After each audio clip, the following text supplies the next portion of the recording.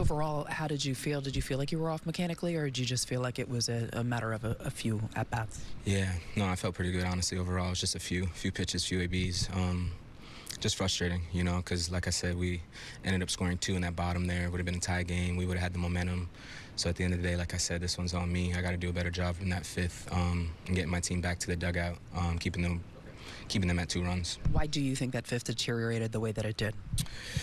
I don't even think it deteriorated. I think it was just one pitch. You know, I mean, Steer ended up hitting a, a sinker away out. Um, just one of those one of those things. If I maybe go to a different pitch, or you just never know. But I was one pitch away, you know, from like I said, from I, I feel keeping our team in the game for a potential win.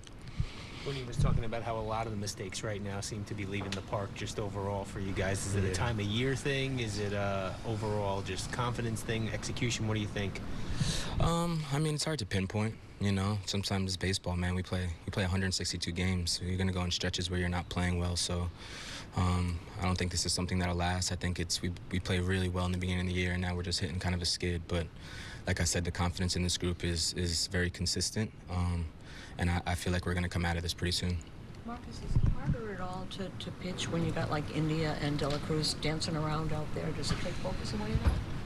De La Cruz for sure. Yeah, takes a lot of focus. You know what I mean? He's feels like it's he, he steals bases very easily. So you have to have a priority on timing, side steps. Um, you end up losing um, your focus on the hitter a little bit and focusing on, on, on the runner. That's how much of a game changer De La Cruz is. It just makes it incredibly hard when he's on the base paths.